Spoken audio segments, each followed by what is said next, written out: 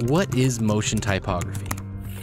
Well, it's the action or process of moving or changing the position, color, scale, and shape of type to create art. And I must emphasize create art.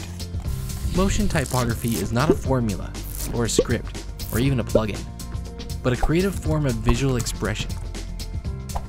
Now, while one cannot through a series of videos fully teach creative artistic talent, I can teach you the fundamentals and advanced techniques needed to create motion typography, to create art.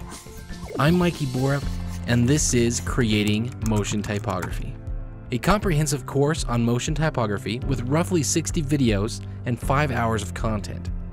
This course can help you learn the necessary skills needed to create motion typography.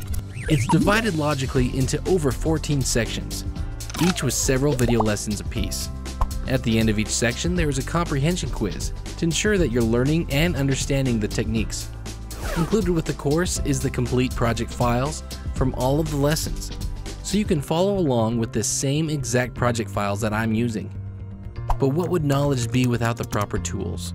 That's why I've included for free over $50 worth of assets, presets, templates, sound effects to help you create the best art you can including popular presets such as Typist and Long Shadows, and two specialized sound effects packs meant specifically for motion graphics and typography.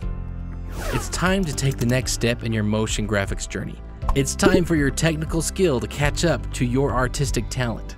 I can't wait to see you in this course and help you out along the way. Thank you so much, and I can't wait to get started.